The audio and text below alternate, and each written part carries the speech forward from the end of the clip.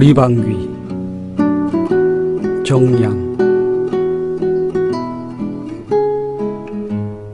보리밥 먹는 여름철에는 방귀 많이 뀌는 게 큰 자랑이다. 상하기 방귀는 동네뿐만 아니라 5학년 일반만 아니라 전교생이 다 알아준다. 상하기가 방귀 뀌는 걸 보고 담임 선생님도 놀란 얼굴을 좌우로 위아래로 흔들며 몇 번이나 올림픽 금메달감이라고 했다.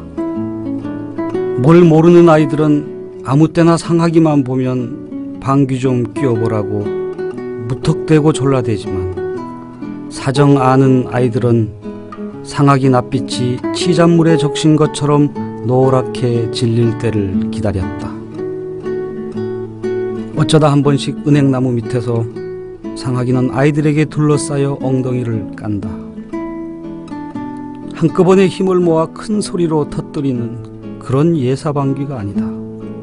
두 손으로 오르락 내리락 총 쏘는 신용을 하면서 엉덩이를 뒤로 조금 내밀고 무릎은 엉거주춤 오므리고 불알이 달랑거리거나 말거나 엉덩이와 오금쟁이와 뱃살과 똥구멍으로 골고루 힘을 나누어 자디잘게 움직거리면 폭넓은 은행나무 그늘 속에는 염소똥 같은 자디잔 방귀총 소리가 번번이 백방도 넘게 이어지는 것이다. 일부러 꽁보리밥 배 터지게 먹고 곁에서 상하기를 흉내내던 복철이는 스무 방도 못 넘기고 철푸덕 생똥을 싸버린 적도 있다. 은행나무 잎들도 방귀총 소리에 숨을 죽인다. 야든 일곱, 야든 야달, 야든 아홉.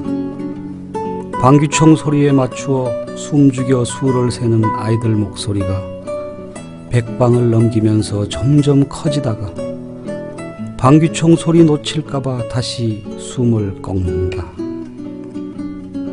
조용히 좀 하라고 손가락으로 가만가만 입술깨를 두드리면서 상하기 엉덩이 근처에 바짝 귀를 들이미는 아이들도 있다.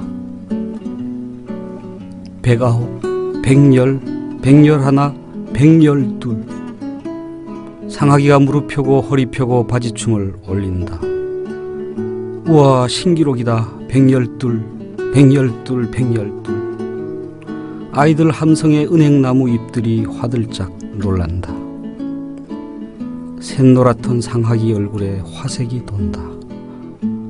점점 커지는 아이들 목소리가 합창으로 바뀐다.